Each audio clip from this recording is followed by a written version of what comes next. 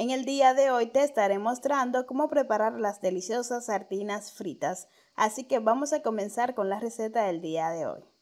Por aquí tengo bastante sardina, como se pueden dar cuenta todavía no le he hecho absolutamente nada. Lo primero que vamos a hacer es limpiarla muy bien, quitarle los órganos o intestino y también el espinal. Así que voy a comenzar a limpiarla. Estaremos tomando la sardina en nuestras manos y con la otra mano estaremos colocando dos dedos debajo de la cabeza. De esta manera estaremos haciendo un poco de presión y vamos a tirar hacia arriba. Si ves que la cabeza de la sardina se rompe, como fue este el caso, lo que te recomiendo es de dejar la sardina en tus manos y de buscar lo que es la punta del espinal. Una vez encontrado esta punta, lo que vas a hacer es tirar hacia afuera, siempre teniendo lo que es la masa de la sardina en la otra mano bien apretada. Y una vez llegado al punto que lo puedes romper fácilmente, pues yo lo que te recomiendo es que lo siga tirando hacia afuera hasta podérsela retirar por completo. Como te puedes dar cuenta, hemos retirado todo el espinal con intestino de la sardina muy bien. Una vez retirado el espinal, como te puedes dar cuenta, aquí está la masa de la sardina intacta, no le ha pasado absolutamente nada,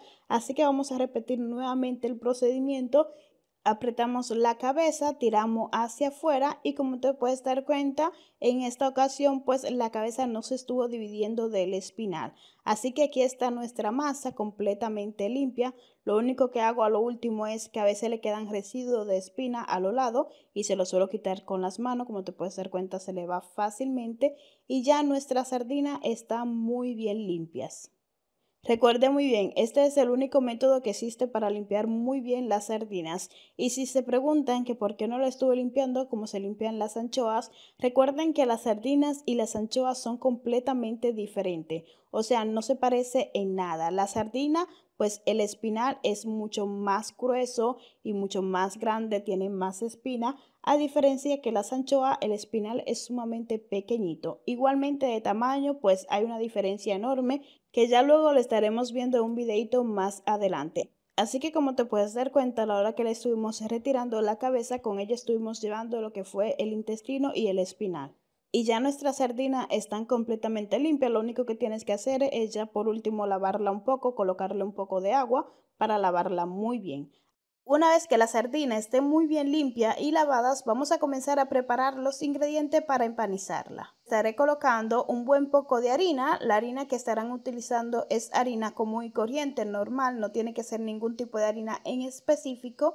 Y aquí a la harina le estaré colocando una pizca de sal y una pizca de pimiento blanco recién molido.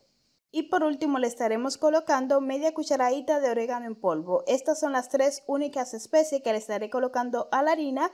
Estaremos mezclando muy bien la harina y muchos de ustedes se estarán preguntando ¿por qué le estuve colocando especie a la harina? A la hora que nosotros vayamos a empanizar las sardinas con la harina, pues ya va a tener su propio sabor, así que le va a dar un toque increíble a las sardinas.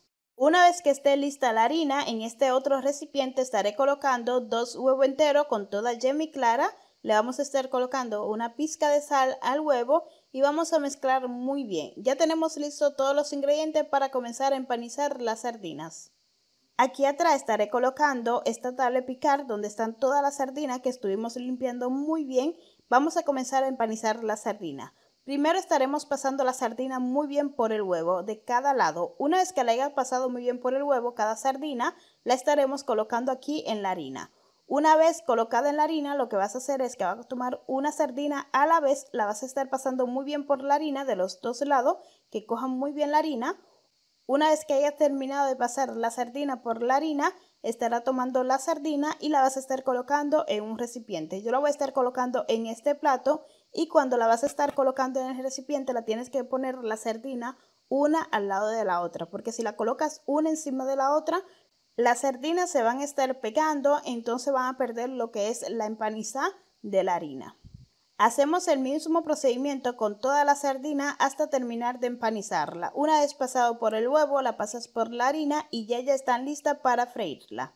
Y si se preguntan si estaré utilizando solamente la harina y el huevo para empanizar la sardina, sí, esto es lo único que voy a estar utilizando porque si utilizo las migajas de pan o el pan gratado, luego yo siento como que la empanizada es muy gruesa, entonces no le vamos a sentir el sabor a la sardina. Así que es más que suficiente colocarle un poco de huevo, un poco de harina y empanizarla una sola vez, como estuviste que estuvimos haciendo. No volver a repetir el procedimiento de empanizarla porque si no luego vas a estar sintiendo solamente la harina, no tanto lo que es la sardina. Entonces no es lo ideal. En este sartén estuve colocando un poco de aceite para freír, esperaré a que esté caliente y una vez que esté caliente vamos a comenzar a colocar las sardinas que hemos empanizado. Estaré colocando la sardina de esta manera, una al lado de la otra. El fuego lo tenemos que dejar a media y tenemos que estar cocinando la sardina por aproximadamente unos 3 minutos a 2 minutos de cada lado. Han pasado unos 2 minutos, así que le vamos a estar dando la vuelta a cada sardina de cada lado y vamos a dejar a que siga friendo. Recuerde muy bien, es sumamente importante que el fuego esté a media, que no esté muy alto, porque luego si está muy alto lo que van a hacer la sardina es que se van a quemar. Ya esta sardina está lista, así que voy a comenzar a retirarla y la estaré colocando en este recipiente. Y ya sé que muchos de ustedes estarán preguntando, ¿ya las sardinas están fritas? Ya están fritas, ya nuestra sardina frita están lista. Y ya sé que muchos de ustedes dirán, pues este aceite ya se ha ensuciado en la primera freída. Pues esto es lo que pasa cuando nosotros freímos algo que contiene harina y es que el aceite se ensucia muy rápido. A ver, aquí tienes dos opciones. O fríes la sardina con poquito aceite, ya este como se pueden dar cuenta está sucio, así que yo voy a tener que botar ese aceite, que la cantidad de aceite es mínima. O fríe la sardina en un recipiente más grande, un sartén un poco más profundo, con bastante aceite y ahí pues no se va a ensuciar tan rápido, pero sí llegará a un punto que se va a ensuciar. Entonces yo lo que te recomiendo es que la fría en poquito aceite, se va a estar ensuciando, pero tú lo vas a poder botar con más facilidad y vas a estar consumiendo menos aceite a que lo frías en un sartén pues más grande con mucho aceite y que luego vas a tener que botar una cantidad enorme de aceite. Así que ahí tienes dos opciones de cómo poderla freír. Yo claramente te recomiendo el método que estuvimos utilizando. Poquito aceite se ensucia, se bota y luego se coloca otro poquito más de aceite y se van friendo las sardinas. Todavía sigo friendo un poco más de sardina, pero ya está, están lista. Así que yo la voy a estar colocando en esta tabla de picar una al lado de la otra para así mostrársela más de cerca. Y claramente si se estarán preguntando con qué voy a estar acompañando las sardinas fritas, pues con un pedacito de limón porque le da un toque increíble. Así que se lo vamos a estar colocando aquí al ladito. Y claramente ustedes se estarán preguntando cómo han quedado las sardinas fritas. Pues ustedes saben que las sardinas fritas son sumamente deliciosas. Recuerden muy bien, estas son sardinas, no son anchoas. Las sardinas son un poco más gruesas y más grandes, te das cuenta a la hora que la vas limpiando. Y las anchoas, a diferencia, son un poco más finitas, más pequeñitas y la masa es un poco más delgada.